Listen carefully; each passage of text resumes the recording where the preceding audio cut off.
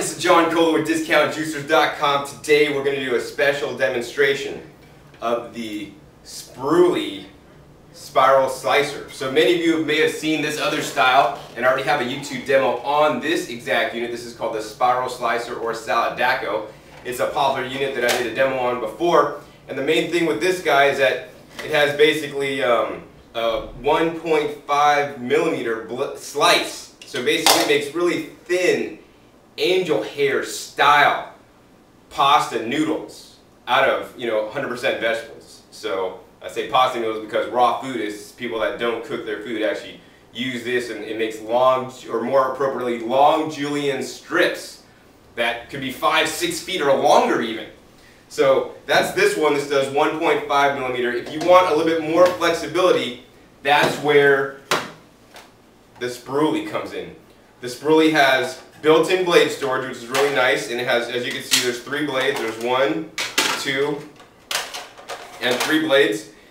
And uh, this blade is actually a three millimeter blade, so that'll make a three uh, millimeter wide strip, or julienne strip, or pasta, however you want to call it.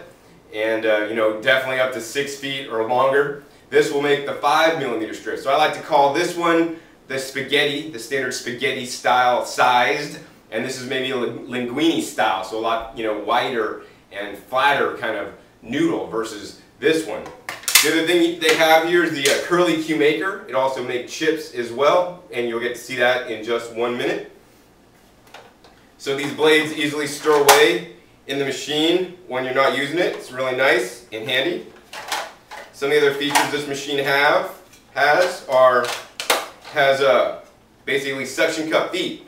So if you put it down, it'll basically suction on. And as you can see, I'm literally picking up this, uh, this granite block with the suction on the Spirooli, so it's really powerful. And to undo them, they have these little um, tabs that you actually pull, and it makes it really easy. You just pull the tabs up, and it'll come undone. So that's really nice. And this works on a, basically a, a horizontal slicer, so you put the produce here. As you rotate it, you push in, and it basically cuts. So let's go ahead now and get into um, using the Spirooli and making some noodles and showing you how that works. Alright, so produce selection is very important when you're going to use the Spirooli. It's very important. Even before you're going to use it, you want to be in the grocery store or if you're in your garden or at a farmer's market, produce selection is paramount to get good success with the Spirooli.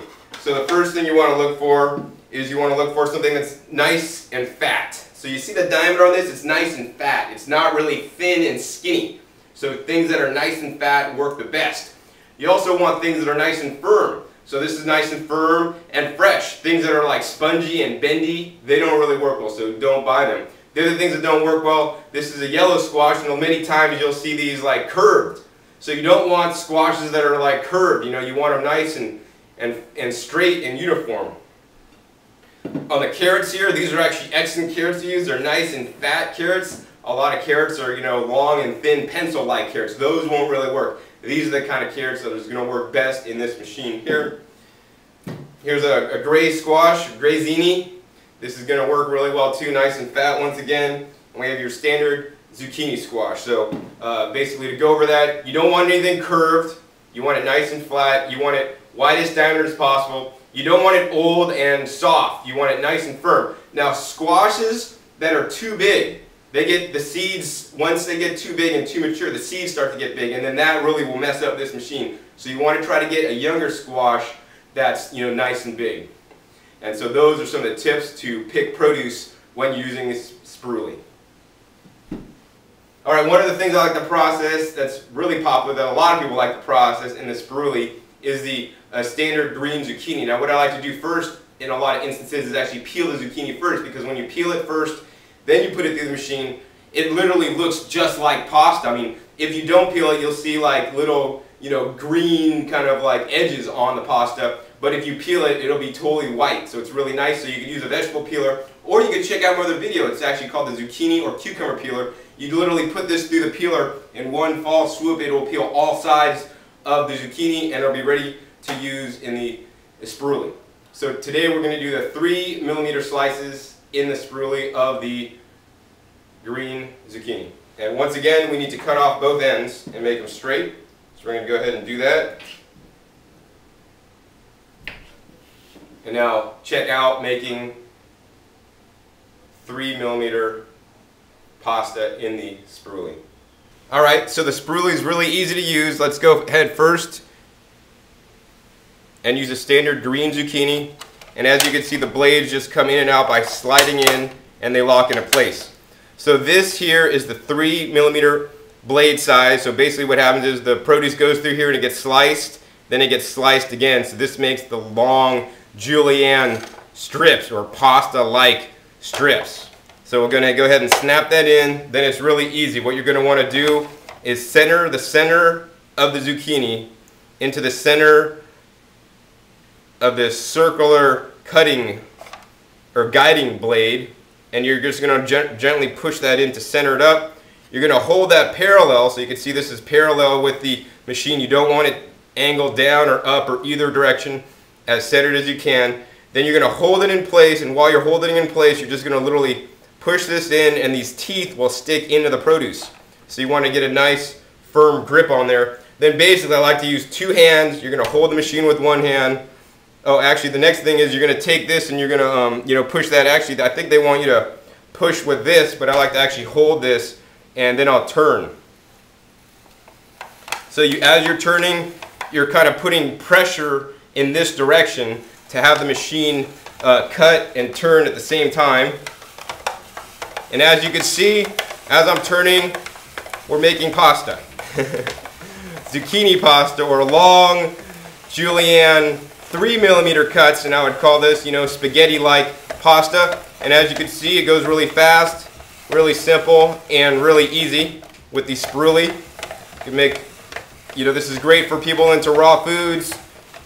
You could make, a, you know, a marinara sauce or a white sauce. A marinara sauce would be, you know, sun-dried tomatoes, fresh tomatoes, maybe some a little bit of basil, some uh, pizza seasoning is what I like to use, and some bell pepper, and just blend that up in the blender. And then you'll have your nice pasta here. I mean, look how long these strips are. It's, it's crazy. They're so long. I mean, these could be as, as tall as, as long as, you know, six feet, seven feet, I mean, or longer. So once again, when you're done, this machine is very easy to clean. You're going to take out the core. It does make a core because that is the guide. You'll take that out and be able to clean up the machine. So now if you want to do an onion in the Spirooli. Basically, you want to prepare the onion, so you're going to want to peel off all the loose um, paper on it, and you're going to cut off both ends. So let's go ahead and cut off both ends. And we're going to go ahead and just peel off all the paper on it, all the uh, dried paper. We want to get down to the part that's the uh, good onion. And this will make some amazing um, onion rings. Now we're going to use our onion that I already prepared and I cut the ends off of with the standard blade and this will make great onion rings. So if you're into raw foods you could actually just process the onion in here and you're going to take the onion and then put it in the dehydrator and dehydrate it.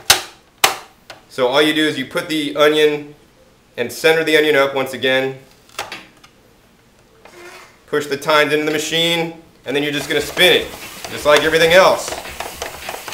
And because the way the onion is already segmented, you'll actually get long strands out of the onion without actually even putting in the other blade. I mean, this is simply the slicing blade. So this is amazing. This makes an amazing garnish. I mean, look at this. This is a red onion.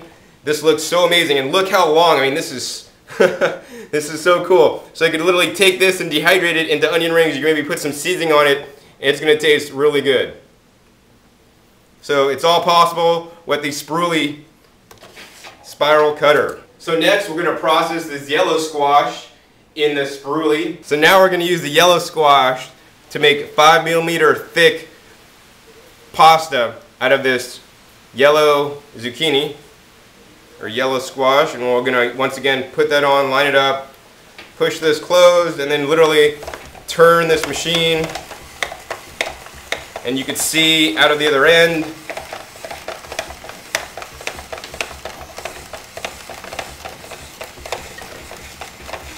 It's easy as this, you know, it takes literally 30 seconds to process one whole squash. Just simply turning and as I'm turning giving constant pressure pushing that way. If you just turn it like this nothing will happen. You'll say John this thing's defective and I'll say no are you using it right. So you gotta push while you're pushing turn. And then you're done and look at this you have nice long pasta like noodles made out of 100% yellow squashed. So delicious. So this is John Kohler with DiscountJuicers.com. We hope you learned a little bit about the Spirooli today. Be sure to visit DiscountJuicers.com slash YouTube for special promotional offers for our YouTube visitors.